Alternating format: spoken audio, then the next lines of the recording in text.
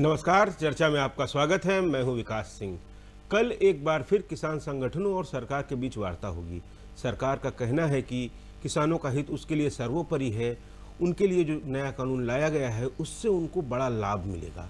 हम आज चर्चा करेंगे नए किसान सुधार कानून से क्या कुछ फ़ायदा मिलेगा किसानों को। हमारे साथ चर्चा में मौजूद हैं प्रेम शंकर मिश्रा जी, वरिष्ठ पत्रकार, और अखंड प्रताप शाही जी, वरिष्ठ पत्रकार। आप दोनों लोगों का चर्चा में स्वागत है। आज हम लोग चर्चा कर रहे हैं जो कृषि कानून बनाया गया है नया उससे कैसे किसानों को फ़ायदा मिलेगा? सबसे पहले अखंड जी हम आप ही के पास आते हैं और जानने की ये कोशिश करते हैं सरकार लगातार ये कह रही है। कृषि मंत्री ने आज भी अपनी बात को दोहराया। कल जब बैठक हुई थी तब भी किसानों से कहा कि उनको जहाँ आपत्तियाँ हैं वो अपनी आपत्तियाँ दें उनका निस्तारण होगा। लेकिन जो बातें जो तथ्य उठाए जा रहे हैं कुछ संगठनों के द्वारा वो सही नहीं है।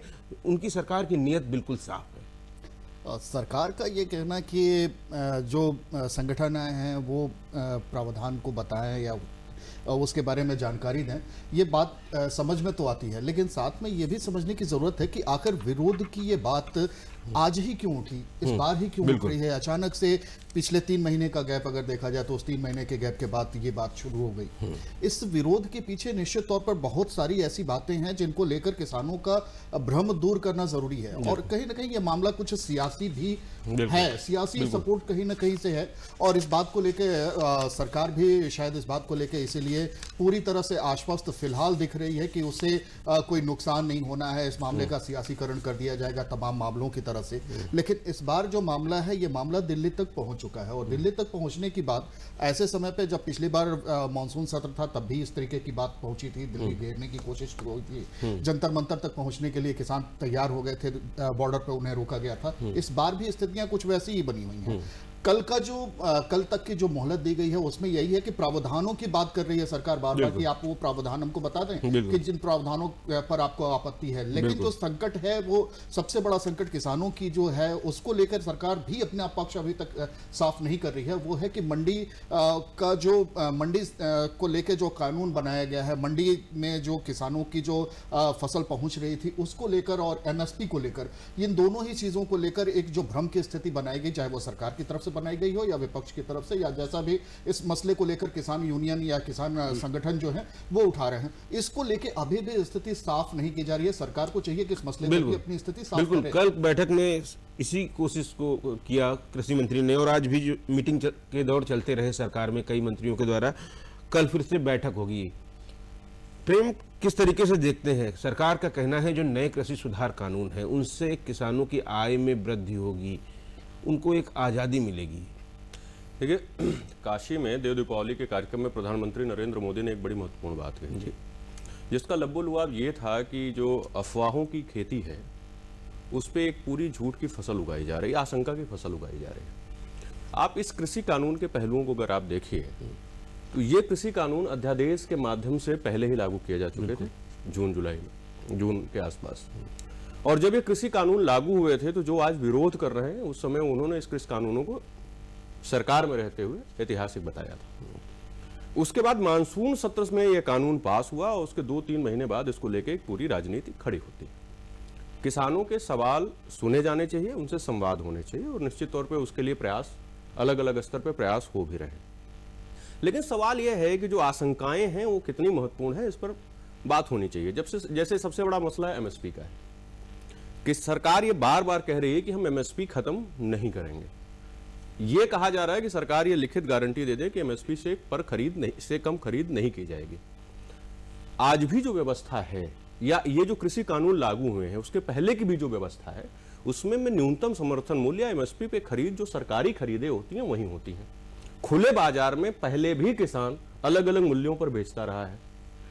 आज इस कानून इस व्यवस्था को लागू होने के बाद भी सर, मंडियों में जो खरीद होगी जो सरकारी खरीद होगी वो निश्चित तौर पे एमएसपी पे होगी सरकार बार बार ये साफ़ कर रही और बाज़ार को आप बाध्य नहीं कर सकते कि आप इससे कम मूल्य पे नहीं खरीद सकते। ये व्यवस्था न कल थी ना ये व्यवस्था आज है। तो ये बात जितनी सैद्धांतिक तौर पे प्रभावी लगती है अगर आप इसके व्यवहारिक पहलुओं पे देखें तो ये उतना बड़ा विषय है नहीं जितना बड़ा विषय बनाया जा रहा है। अखंड सबसे पहले नियत की बात करते हैं। प्रधानमंत्री ने भी कहा कि गंगा जल की तरीके साफ़ है बात। और जिस तरीके की बातें अगर पहले ढेर सारे आंदोलन जो कर रहे हैं दिल्ली में जाके किसान इससे पहले जब एक बड़ी समस्याएँ होती थी किसानों के लिए यूरिया को लेकर और किसान जब आत्महत्या कर रहा था बुंदेलखंड का तब ऐसे लोग कहीं नज़र नहीं आते थे। आपको क्या लगता है?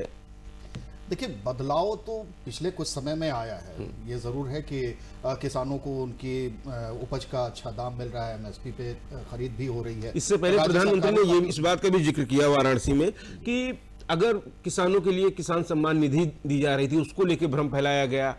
अनाज जब पहुँचाया जाता था गरीब के लिए उसको लेके भी कहा गया कि सिर्फ़ चुनाव है ये चुनाव तक ही सीमित है। जी बिल्कुल।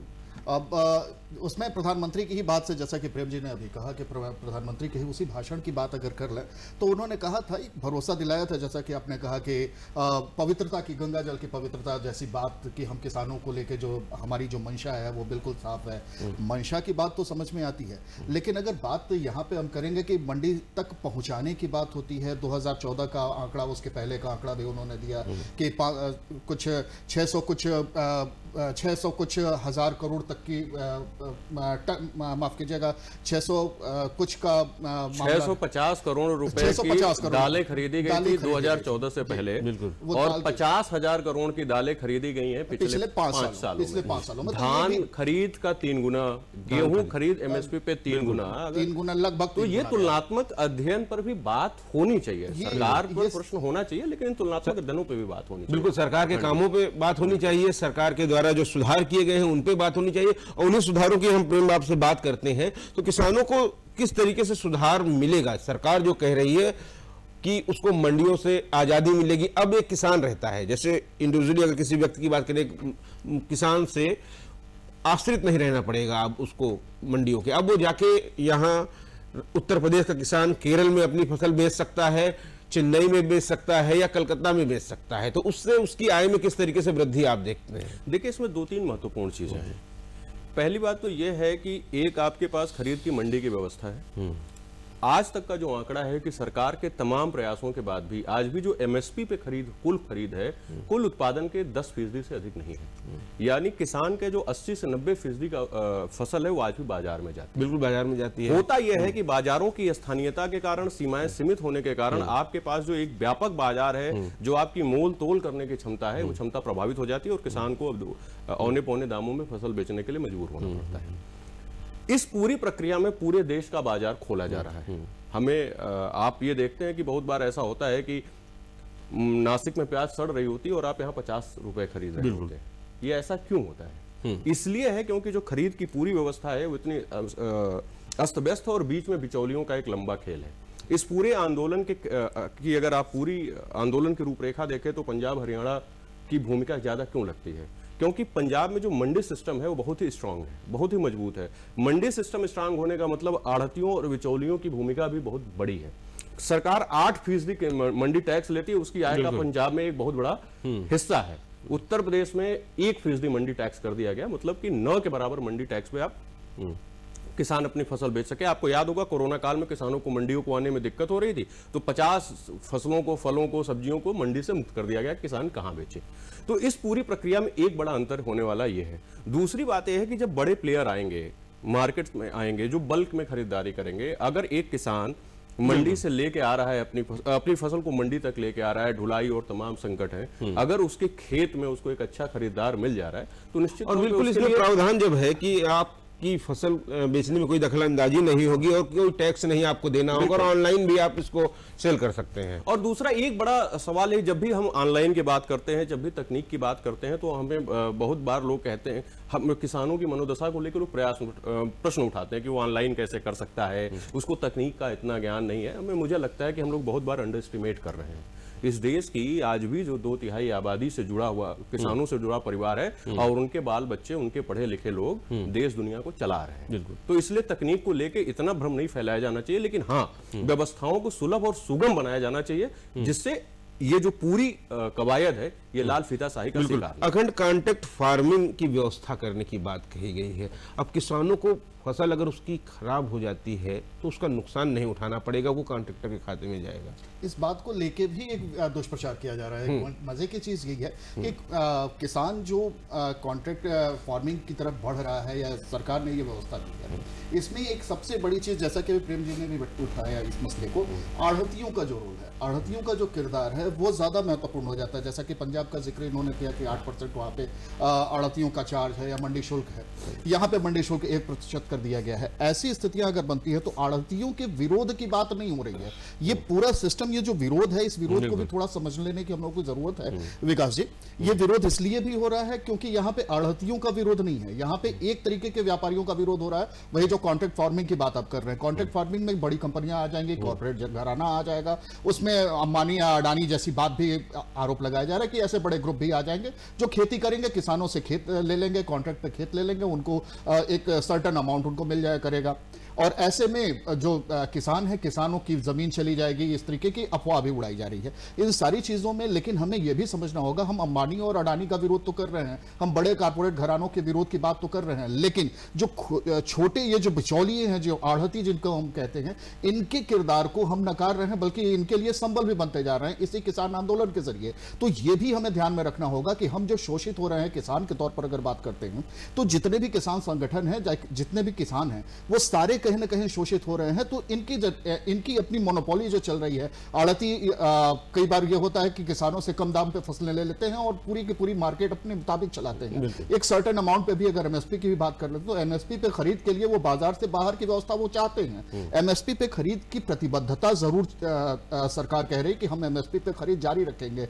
लेकिन किसान के पास ये ऑप्शन है ये किसान नीति में जो सरकार जो दलील दे रही है वो यही दलील है और सरकार ने इस बात को नीति में वो दर्ज भी किया है कि अब आप चाहें तो मंडी में आके बेचें या उससे मंडी से प्रधानमंत्री ने ज़िक्र है, किया चंदौली के काले चावल का ज़िक्र किया जो बहुत ही अच्छी कीमत किसानों को मिली विदेश में बिका तो ऐसे ढेर सारे उदाहरण हैं। अपने उत्तर प्रदेश में अगर बात करें कि किसान ज़्यादा मुनाफा उठा सकता है। अगर वो जाता है बाज़ार से बाहर जाता है खुले मार्केट में जाता है पूरे देश में जाता है। यही जो हम संविदा खेती की ही बात कर रहे हैं। देखिए पहली बात है कॉन्ट्रैक्ट का मतलब क्या होता है? संविदा का सीधा सीधा मामला है कि दो पक्षों के बीच समझौता है ना ये एक पक्षीय समझौता नहीं होता है। किसान को कॉन्ट्रैक्ट खेती के लिए बाध्य थोड़े किया जा सकता है। अगर किसान करना चाहेगा तभी तो वो करेगा। दूसरी एक वो- एक महत्वपूर्ण विषय समझिए। बुंदेलखंड का क्षेत्र है। वहाँ पे मेडिसिनल प्लांट की खेती हो सकती है। आपके पास एक जोत है आपके ग्रामीण क्षेत्र में है आप कुछ आधुनिक खेती करना चाहते हैं। आप तुलसी उगाना चाहते हैं तुलसी की एक प्याली की चाय जो है टी बैग में पच्चीस रुपए में मिल रही है। आप चाहते हो कि कुछ जिसको कहते हैं कि कमर्शियल एग्रीकल्चर आप व्या- व्यावसायिक कृषि करना चाहते हो? आपके साथ सबसे बड़ा संकट क्या है कि पहले आपको बाज़ार तलाशना पड़ रहा है। इस संविदा खेती से सबसे बड़ा फ़ायदा यह है कि आपने फर्म को जोड़ा, बाज़ार आपके द्वार है ना, और उसके बाद आप फ़सल उत्पाद कर रहे हैं और आपको सीधे जो है वो खरीद के ले जा रहा है। खरीद और ले रहा है भंडारण की व्यवस्था उसकी होगी उस, उसकी भंडारण की व्यवस्था नहीं है। वो आपकी आपकी तक, आपको बेहतर तकनीक देगा क्योंकि उसको बाज़ार में अपनी उस, उसका उपयोग करना है। और इस पूरे प्रक्रिया में जो सबसे बड़ी बात यह है कि किसी भी चाहे फ़सल का नुकसान हो या किसी मौसम के कारण फ़सल मारी जाती हो ये नुकसान उस व्यापारी को झेलना है किसान को नहीं झेलना है। और जो संविदा की शर्तें उसमें बहुत साफ़ है जो एक ज़मीन को लेकर ज़मीन रखने को लेकर वातावरण तैयार किया जा रहा है संविदा की शर्तों में बहुत साफ़ है कि किसी भी कीमत पे चाहे नुकसान हो जाए संविदा के किसी भी शर्त का उल्लंघन हो रहा है किसान की ज़मीन नहीं छुई जाएगी। बिल्कुल। देखिए जब आप नए बदलाव की ओर बढ़ते हैं तो उसमें कुछ सवाल भी होते हैं कुछ संकट भी होते हैं। लेकिन आप एक घिसी पिटी व्यवस्था में आखिर सत्तर सालों में इस पुरानी व्यवस्था में किसानों की स्थिति में क्या बदलाव आ गया? हर चुनाव में ये नारे लगते हैं किसान हितैषी होने की बातें करते हैं इनकी स्थितियों में बदलाव क्या आया है? बिल्कुल। तो इन बदलाव की ओर बढ़ रहा है। हाँ ये जो शंकाएँ हैं जो समाधान है उन पे निश्चित तौर पर बात होनी चाहिए और बात जब किसान और सरकार आपस में करेगी तो हमें उम्मीद है कि उसका समाधान लंबे समय के बाद अखंड किसान कानूनों में सुधार आए थे। इससे पहले जब ये कानून आया था उससे पहले ढेर सारे संगठनों की जो राय थी किसान संगठनों की, उन्हीं की राय को लिया गया था। अब ये सब बातें कहे क्यों उठने लगी हैं? देखिए बड़ा आसानी से इस बात को अगर समझा जाए तो मोटे तौर पे जो समझ में आता है वो कहीं ना कहीं मामला राजनीतिक होता है। राजनीतिक इस वजह से भी देखा जा सकता है कि दिल्ली के करीब में जो दो तीन राज्य हैं वहाँ पे किसान संगठन ज़्यादा मज़बूत है। वहाँ बड़े बड़े किसान हैं चाहे वो हरियाणा की बात हो या फिर पंजाब की बात हो। हरियाणा में भले बीजेपी की सरकार हो लेकिन पंजाब में कांग्रेस की सरकार है। ऐसे में कांग्रेस की सरकार के लिए कहीं ना कहीं ये चीज़ एक ताकत देने वाली थी कि अगर हम किसान आंदोलन के ज़रिए ही अपनी बात बढ़ाते हैं तो केंद्र सरकार पे हम एक दबाव बना लेंगे। तो ये दबाव बनाने की एक सियासत भी हो सकती है। हालाँकि इस बात को कह के हम किसानों के आंदोलन को या किसानों के जेन्युइन जो सवाल हैं उन जेन्युइन सवालों को नजरअंदाज नहीं कर सकते। लेकिन एक कारण तो कहीं ना कहीं से इसमें सियासत का बनता है। जब केंद्र पे दबाव बनाना होता है या सरकार पे दबाव बनाना होता है तो विपक्ष कुछ ना कुछ तरीके हथकंडे अपनाता है। और किसान एक ऐसा मसला रहा है जो इसके पहले भी हमेशा से बड़े आंदोलनों का ज़रिया बना है। किसानों के ज़रिए बहुत सारी बातें इसके पहले भी हुई हैं। 2014 के पहले भी आंदोलन होते रहे हैं। मोटी मोटी चीज़ों का अगर हम ज़िक्र करते हैं कृषि सुधार कानूनों में तो वो ऐतिहासिक चीज़ें आपको क्या लगती हैं कि क्या कुछ बदलाव अब आ गया है लंबे अरसे के बाद? देखिए, बदलाव की बात अगर करेंगे तो सबसे बड़ा बदलाव तो यही है कि बाज़ार आपके द्वार तक आ रहा है, आपके दरवाजे तक बाज़ार आ रहा है। एक सबसे बड़ी सहूलियत तो यही मिल रही है। कॉन्ट्रैक्ट खेती जो बात हो रही है कॉन्ट्रैक्ट कृषि की वो संविदा कृषि जिसको हिंदी में अगर नाम दिया जाता है तो। तो संविदा कृषि एक बड़ा बदलाव है एक ऐसा बदलाव है जिसमें किसान कम से कम इस बात को लेके एक कॉन्ट्रैक्ट के ज़रिए इस बात को लेके मुतमईन हो सकता है कि हाँ उसकी ज़मीन तो बिल्कुल उसके पास रहेगी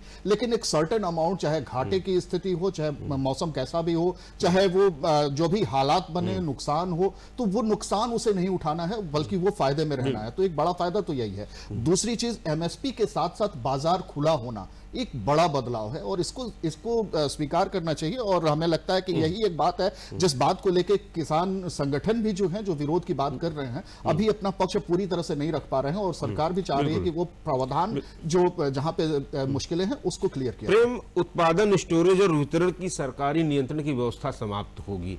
इस व्यवस्था के समाप्त होने के बाद जो नया युग आएगा कृषि क्षेत्र में उसमें किस तरीके के बदलाव आपको देखते हैं?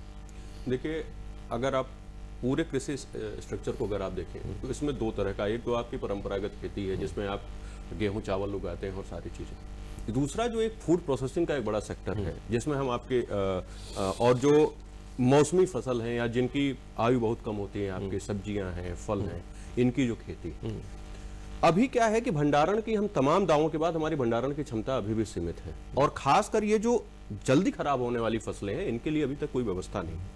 जब आप बाज़ार को खोल रहे हैं, अभी उत्तर प्रदेश में ही जैसे चार एक्सप्रेसवे बन रहे हैं, हर एक्सप्रेसवे के किनारे इंडस्ट्रियल क्लस्टर लगाए जाने की बात हो रही है फ़ूड प्रोसेसिंग के क्लस्टर लगाए जाने की बात हो रही है। इस पूरी प्रक्रिया में जिस तरह से निवेश है, जो उद्योग है, कृषि आधारित उद्योगों में जिस तरह से निवेश बढ़ रहा है, इनका रुख जो है दूसरे और तीसरे श्रेणी के शहरों की ओर, ग्रामीण और कस्बों की ओर बढ़ रहा है तो ये पूरा इंफ्रास्ट्रक्चर विकसित करेंगे।